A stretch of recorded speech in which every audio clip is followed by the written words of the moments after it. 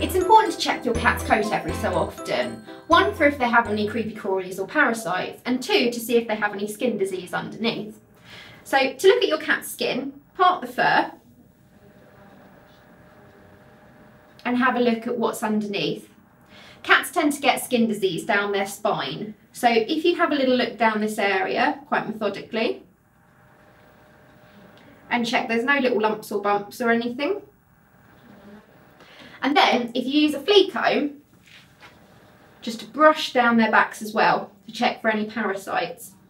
Now any fleas can be picked up like this or what you more commonly see on your animal is flea dirt.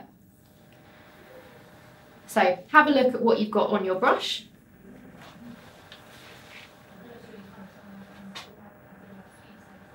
If you see any little bits of speckled black, what looks like dirt, it can often be flea dirt. So the best way to tell it apart from just regular dirt, as cats are always going outside and rolling in the soil, is to get a bit of paper towel, wet paper towel, pop the any little bits of dirty bits that you might see in the fur on the paper towel.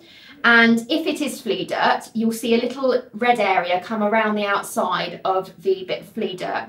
Um, and that is because flea dirt is essentially digested blood.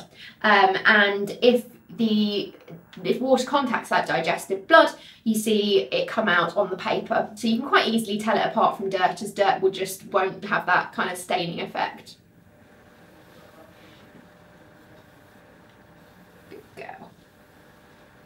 Cats also love to be groomed, so they should be quite alright to having this done, bless them.